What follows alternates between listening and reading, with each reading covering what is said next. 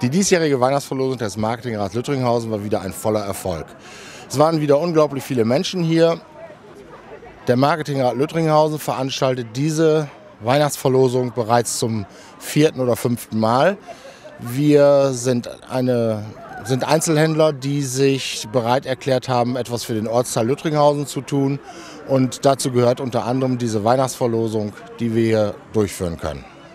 Wir müssen feststellen, dass äh, diese Veranstaltung immer besser angenommen wird von den äh, Bürgern hier in Lüttringhausen.